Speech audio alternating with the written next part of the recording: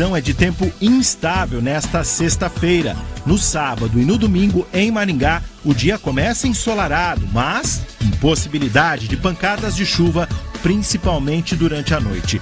Em Goiôerê e Paranavaí, o sol até aparece pela manhã, mas na parte da tarde pode chover.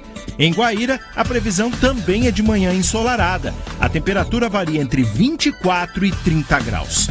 Em Campo Mourão, Umuarama e Apucarana, o Instituto Cimepar informa que o sábado será de céu claro, mas com possibilidade de pancadas de chuva também durante a noite.